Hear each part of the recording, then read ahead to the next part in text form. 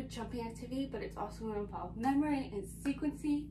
It's going to keep them cognitively engaged in the activity the whole time. So what you want to do is you want to put three colored pieces of paper on the floor in one straight line. We're going to start with one straight line. And they're going to stand behind it. And what you want to do is you want to, just to start off, have them jump to each color. Tell them jump, jump to orange, come back. Jump to green, to pink, and come back. Once they have that down, now you're gonna add in a second color. So what you wanna do is you can tell them, let's jump from green to orange. From green to orange, and then have them come back. And now let's say, let's jump from green to pink. Green, pink, and come back.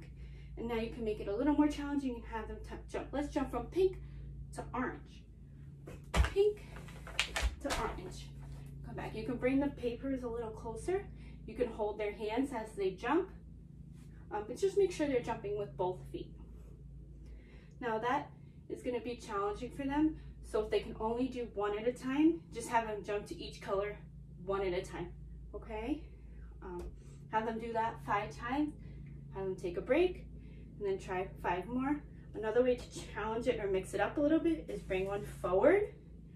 So now they start here, now they have to jump further distance to green.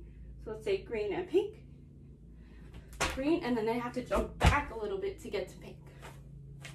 Don't be afraid to move the papers around, challenge them a little bit, have fun with it, do two rounds, and then you're all set.